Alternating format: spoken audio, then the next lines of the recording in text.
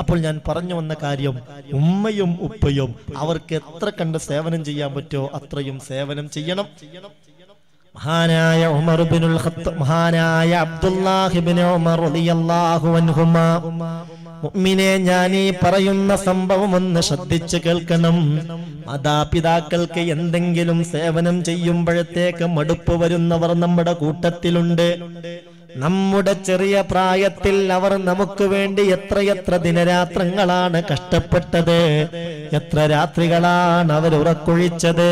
ഏതെല്ലാം പ്രയാസങ്ങളാണ് നമുക്ക് വേണ്ടി അവർ സഹിച്ചിട്ടുള്ളത്. അവർക്ക് ഒരിക്കലും നമ്മോടൊരു മടുപ്പ് തോന്നിയിട്ടില്ല. എന്നാൽ മാതാപിതാക്കളെ ഒന്ന് പരിപാലിക്കുമ്പോഴത്തേക്ക് പെട്ടെന്ന് മടുത്തു പോകുന്ന ആളുകളുണ്ടല്ലോ. ഈ ഹദീസ് ഒന്ന് കേൾക്കണം മുമ്മിൻ. മഹാനായ അബ്ദുല്ലാഹിബിന് ഉമർ റളിയല്ലാഹു ഒരു ദിവസം കഅബാലയത്തിന്റെ സമീപത്ത് നിൽക്കുകയാണ്. അപ്പോഴാണ് ഒരു രംഗം കണ്ടു. എന്താണെന്നറിയോ? ഒരു കാഴ്ച കണ്ടു. അന്ന റജുലൻ യമാനിയൻ യതൂഫു ബിൽ ബൈതി യഹ്മിലു ഉമ്മഹു വറാ യമൻകാരനായ ഒരു ചെറുപ്പക്കാരൻ അയാൾ കഅബാലയം തവാഫ് ചെയ്യുകയാണ്. എങ്ങനെയാണ് കഅബാലയം തവാഫ് ചെയ്യുന്നത്? തന്റെ പ്രിയപ്പെട്ട ഉമ്മയെ പുറത്ത് ചുമന്നുകൊണ്ടാണ് അയാൾ തവാഫ് ചെയ്യുന്നത്. ഉമ്മയാവട്ടെ നല്ല ഭാരമുണ്ട് നല്ല തടിയുണ്ട്. തിരക്കുള്ള സമയത്തൊക്കെ ഒറ്റക്കെന്നെ തവാഫ് ചെയ്യാൻ വലിയ പ്രയാസാണ്.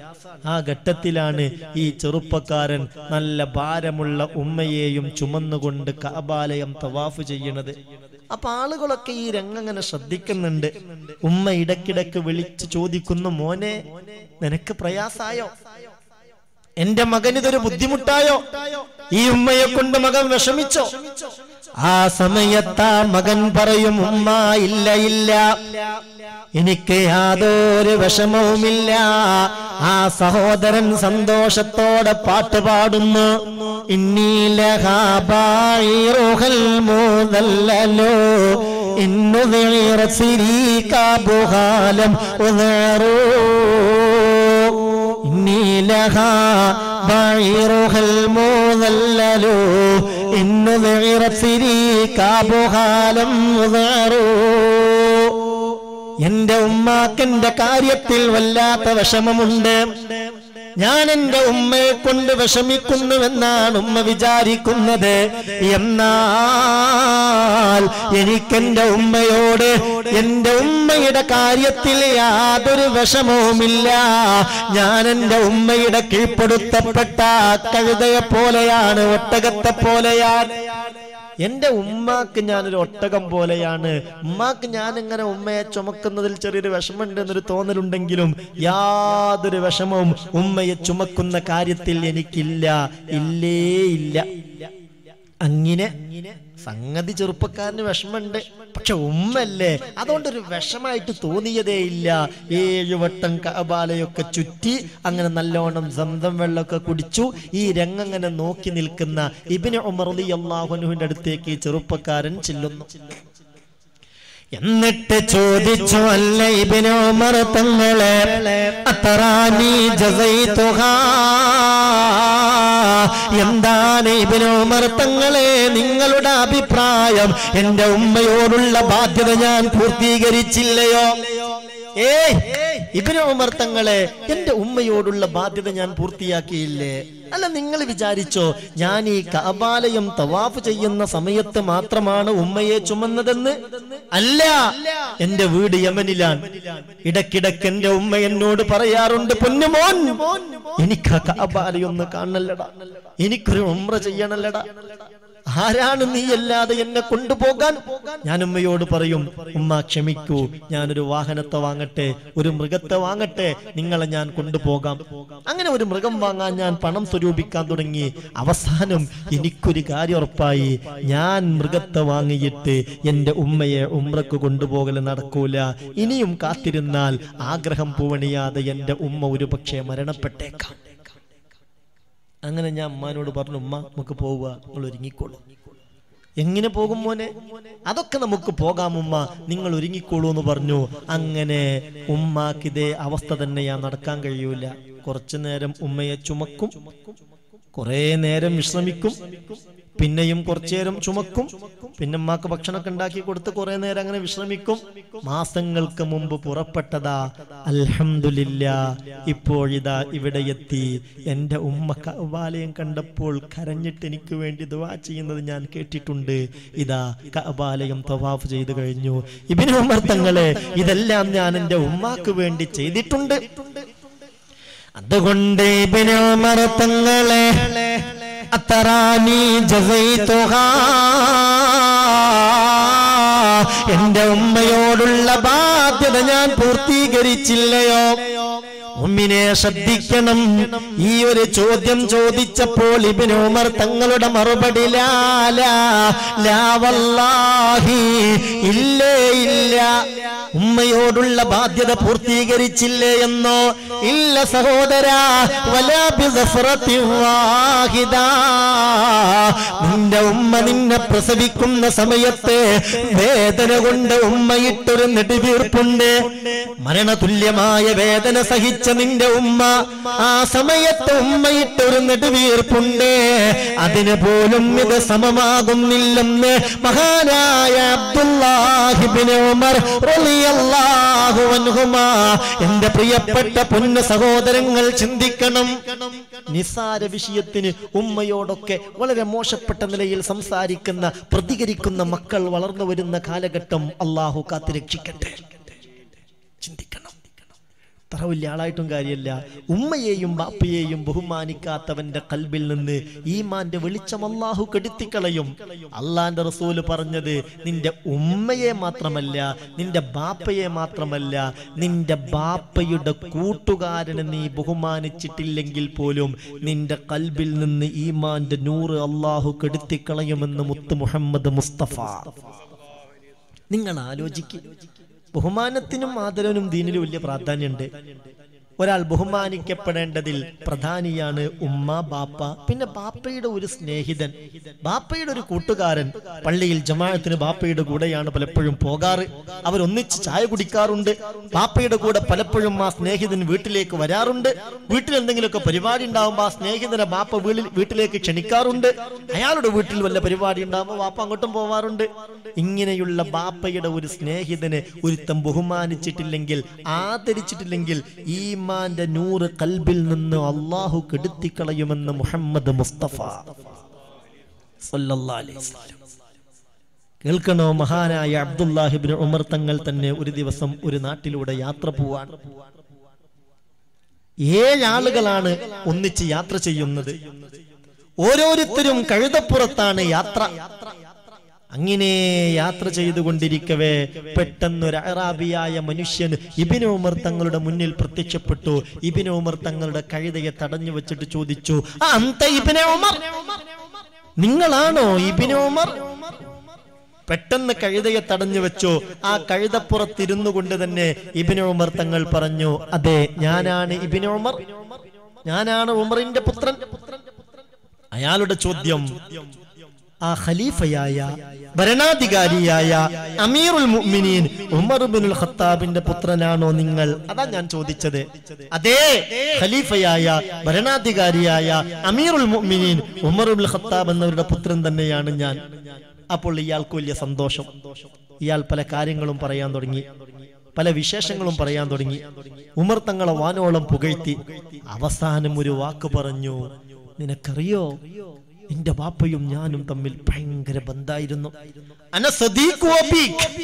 ഞാൻ നിന്റെ ബാപ്പയുടെ ചങ്ങാതിയാണ്. കാണുന്നതാണ് എന്റെ വീട്. ഈ വഴിക്ക് ബാപ്പ പോവാണെങ്കിൽ എന്റെ വീട്ടിൽ വരും. ഉള്ള ഭക്ഷണം കഴിക്കും. എനിക്ക് വേണ്ടി ദുവാ ചെയ്യും. ഞാനും നിന്റെ ബാപ്പയും തമ്മിൽ വലിയ സ്നേഹത്തിലായിരുന്നു. എന്റെ ബാപ്പ നിന്റെ ബാപ്പ എന്റെ ചങ്ങാതിയാണ്. സുബ്ഹാനല്ലാ. ഇതങ്ങട്ട് കേൾക്കേണ്ട താമസം ഉടനെ തന്നെ ഫനസലമിനൽ ഹമീർ. ഇബിനു ഉമർ തങ്ങൾ വേഗം കഴുതപ്പുറത്ത് തന്റെ തലയിലുള്ള തലപ്പാവെടുത്തിട്ട് അയാളെ തലയിൽ വെച്ചു കൊടുത്തു. ആദരവിന്റെ ബഹുമാനത്തിന്റെ സൂചനയായി ആ തലപ്പാവെടുത്തിട്ട് അയാളെ തലയിൽ വെച്ചു കൊടുക്കുന്നു. താൻ ഇത്രയും നേരം യാത്ര ചെയ്ത കഴുതയുണ്ടല്ലോ.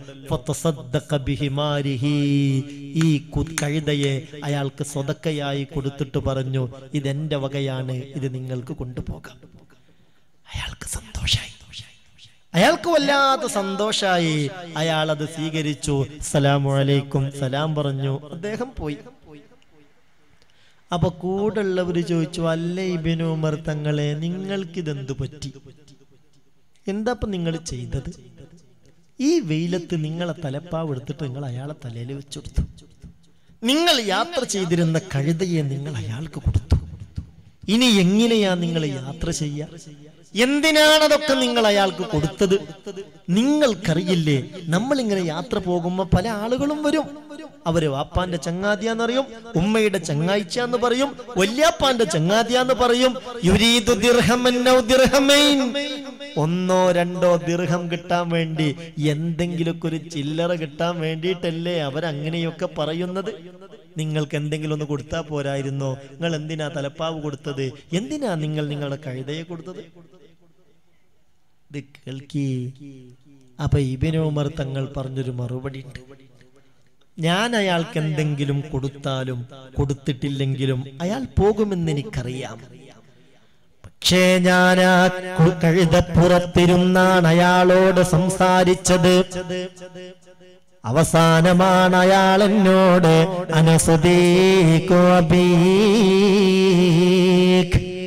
ഞാൻ നിന്റെ ബാപ്പയുടെ ചങ്ങാതിയാണെന്ന് അവസാനമാണ് അയാൾ എന്നോട് പറഞ്ഞത്. ഇത്രയും നേരം ബാപ്പയുടെ ചങ്ങാതിയോടാണോ ബഹുമാനമില്ലാതെ ഇങ്ങനെ ഇരുന്ന് സംസാരിച്ചത്? സുബഹാനല്ലാ അയാളത് പറഞ്ഞപ്പോൾ ഹദീസ ഹബീബായ നബി തങ്ങളുടെ ഒരു ഹദീസ് ഞാൻ ഓർത്തുപോയി. എന്താ മുത്തുനബി പറഞ്ഞത്? മല്ലം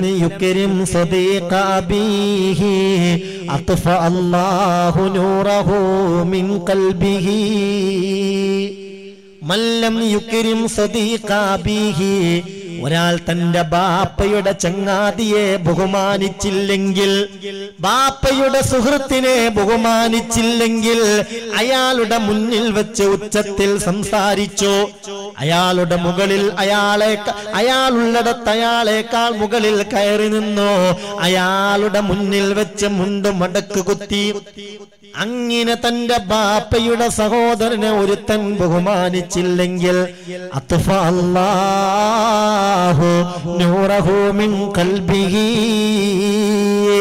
അവന്റെ ഹൃദയത്തിൽ നിന്ന് ഈമാന്റെ നൂറ് ആ വെളിച്ചം ചെല്ല ജലാലായ അള്ളാഹു കെടുത്തി കളയുമെന്ന് ഹബീബായ മുത്ത് മുഹമ്മദ് മുസ്തഫ സല്ലല്ലാഹു. ഈമാന്റെ ഹിതായത്തിന്റെ വെളിച്ചം കെട്ടാൽ പിന്നെ എങ്ങനെ ആക്കിപത്ത് നന്നാവും? അതുകൊണ്ട് പരമാവധി മാതാപിതാക്കളെ പരിഗണിക്കുക. പിന്നെ ഉമ്മയും ഉപ്പയും എന്ത് ചെയ്യണമെന്ന് ചോദിച്ചാൽ അവരുടെ സ്വഭാവങ്ങളോ പ്രവർത്തനങ്ങളോ ഒരിക്കലും മക്കൾ അവർക്ക് എതിരാവാൻ കാരണമാകുന്ന വിധത്തിലാകരുത്. ചില മാതാപിതാക്കളുടെ സ്വഭാവങ്ങളൊക്കെ പലപ്പോഴും മക്കളെ അങ്ങനെ ആകാൻ പ്രേരിപ്പിക്കുന്നു എന്നതും നമ്മൾ ചിന്തിക്കണം. ഉമ്മയും ബാപ്പയും എപ്പോഴും മക്കൾക്ക് വലിയ താങ്ങാവണം വലിയ തണലാവണം. അതിന് എത്ര പ്രായമുണ്ടെങ്കിലും മക്കൾ ഒരു പക്ഷേ വിവാഹമൊക്കെ കഴിഞ്ഞ് അവർക്ക് മക്കൾ ഉണ്ടാവാം എന്നാൽ പോലും മക്കൾ അവർ പ്രായം നോക്കാതെ അവരെ അവർക്ക് താങ്ങും തണലുമായി നിൽക്കാൻ മാതാപിതാക്കൾക്ക് കഴിയണം. മക്കളെയൊക്കെ ഒരുപോലെ കാണുകയും വേണം. അതും വലിയ വിഷയമാണ്. ചിലപ്പോ സാമ്പത്തികമായി മക്കളെല്ലാവരും ഒരുപോലെയാവണം എന്നില്ല. അള്ളാഹു കൊടുക്കണതല്ലേ? കള്ളാന്റെ തീരുമാനല്ലേ? കൂട്ടത്തിൽ ഒരാൾ വലിയ സമ്പന്നനാണ് മറ്റേയാൾ നിത്യം കൂലിവേലക്ക് പോകുന്ന ആളാ. എന്നാൽ പോലും ബാപ്പയുടെ കണ്ണിൽ ഉമ്മയുടെ കണ്ണിൽ മക്കളെല്ലാവരും ഒരുപോലെയാകണം. നിങ്ങളെ മക്കൾക്കിടയിൽ നിങ്ങൾ നീതി കാണിക്കണേ എന്ന് മുത്തു മുഹമ്മദ് മുസ്തഫ സല്ലല്ലാഹു അലൈഹി വസല്ലമ തങ്ങൾ പഠിപ്പിച്ചിട്ടുണ്ട്. മരുമക്കളെ ഒരുപോലെ കാണണം. മരുമക്കളെയും ഒരുപോലെ കാണണം. ഒരുത്തി നല്ല സമ്പത്തുള്ള തറവാട്ടിൽ നിന്നാണ് നമ്മുടെ വീട്ടിലേക്ക് കയറി വന്നിട്ടുള്ളത്. അവൾക്കൊരു പരിഗണന അവളുടെ വീട്ടുകാർക്കൊരു പരിഗണന. മറ്റേത് സാമ്പത്തികമായി വളരെ കമ്മിയുള്ള കുടുംബത്തിൽ നിന്നാണ്. അപ്പോൾ അവരുടെ വീട്ടുകാരെ പരിഗണിക്കാതിരിക്കുക ഇതൊക്കെ ദുസ്വഭാവങ്ങളാണ്. ഇങ്ങനെയുള്ള ദുസ്വഭാവങ്ങളൊന്നും ഒരർത്ഥത്തിലും മാതാപിതാക്കളിൽ ഉണ്ടായിക്കൂടാ. അങ്ങനെ വരുമ്പോ സ്വാഭാവികമായും നമ്മുടെ മക്കൾ നമുക്കെതിരായി പോകും. ജല്ല ജലാലായ റബ്ബ് നമ്മളെ കാത്തിരക്ഷിക്കട്ടെ. അതുകൊണ്ട് ശ്രദ്ധിക്കണം മാതാപിതാക്കളെ വെറുപ്പിക്കുന്നത് എന്ന് ചൊല്ലാൻ കഴിയാത്ത മരണത്തിനു കാരണമാകും.